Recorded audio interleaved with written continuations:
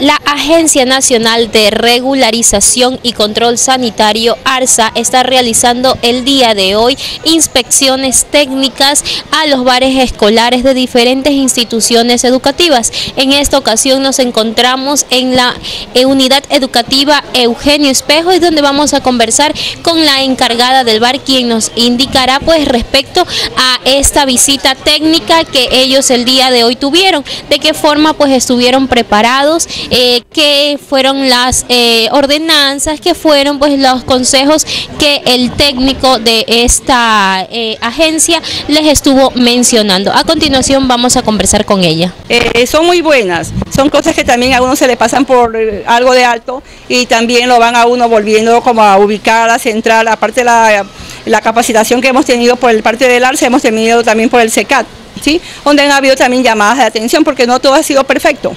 Pues sí, me faltan unos poquitos puntos. Eh, ¿Cómo le voy a decir? Ese, uno pone fruta, los niños casi no consumen fruta. Yo no los puedo obligar, no tienen, eh, en el hogar no les han enseñado a comer ciertos productos. Una torta de zanahoria no me la comen, una torta de quinoa, una galleta de quinoa, ellos no reciben porque es que yo no les puedo cambiar el hábito de alimenticio de ellos.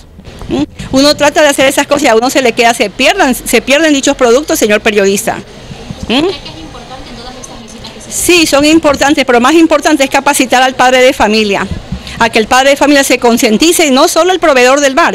Yo puedo hacer ciertos productos y yo los pierdo, yo no los puedo vender porque ellos no lo comen. Pero si usted como funcionario, ah, los funcionarios que están aquí de salud, del ARSA, y llegan a unas charlas directamente con los padres de familia, el padre de familia se va a capacitar, se va a eh, actualizar y se va a concientizar que ciertos productos a los niños no les deben de vender. Mira, aquí los niños entran con ponimalta, entran con chito, entran con papas fritas, entran con tantos productos. ¿Y por qué? Porque el padre de familia no sabe cómo se debe a un, a un alumno de alimentarlos desde muy pequeñito, a temprana edad. ¿Cuánto tiempo Ya llevo en bares escolares siete años. Ya he pasado por la Victoria Macías, Julio Viteri, San Antonio y en la actualidad ya voy para el segundo periodo aquí de la Escuela Eugenio Espejo.